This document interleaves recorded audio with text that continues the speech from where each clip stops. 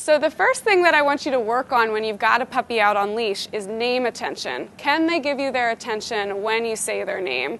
So, this is McBain, and I'm going to start by just saying his name, and as soon as he looks at me, I'm going to use that marker word yes to tell him that that's what I want him to do, and then deliver the treat. McBain! Yes! Good. So I'll wait for him to look away. That's good. McBain! Yes! Good. And let me pull in a distraction here to see if we can um, let him get distracted a little bit. McBain! Yes! Good. One more time. McBain! Yes, good. So I'm waiting for that moment that he looks back at me. One more time. he doesn't want to look away.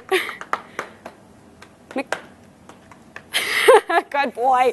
I'll take that. That was good. All right. Thank you very much. So that's the first piece of it. If you can get the dog to bring their attention back to you on their name, that's huge because that'll help you when you're out walking. If the dog starts to pull, all you have to do is say, McBain, yes, and then deliver the treat back at your body. Dog slackens the leash. It's perfect. Good job.